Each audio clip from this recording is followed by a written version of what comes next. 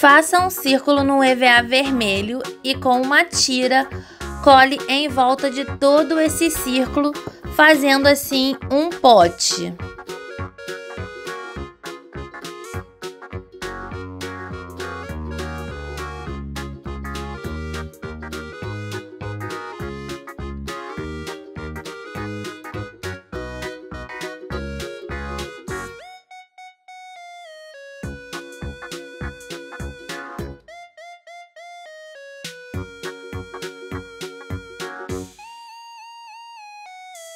Corte uma tira de EVA verde em zigue-zague como se fosse um matinho e cole em volta desse pote.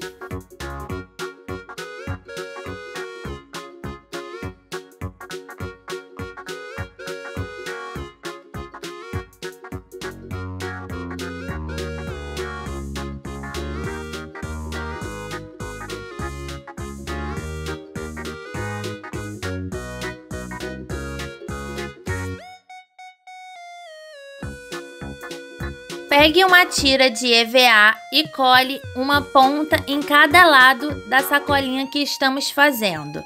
Para finalizar, coloque um lacinho de cada lado.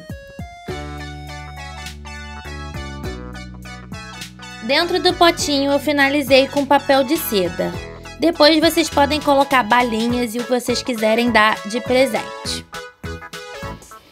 Então é isso, pessoal. Espero que vocês tenham gostado do vídeo de hoje. Não esqueça de se inscrever aqui no canal, de curtir e compartilhar esse vídeo. Um grande beijo e até o próximo. Tchau!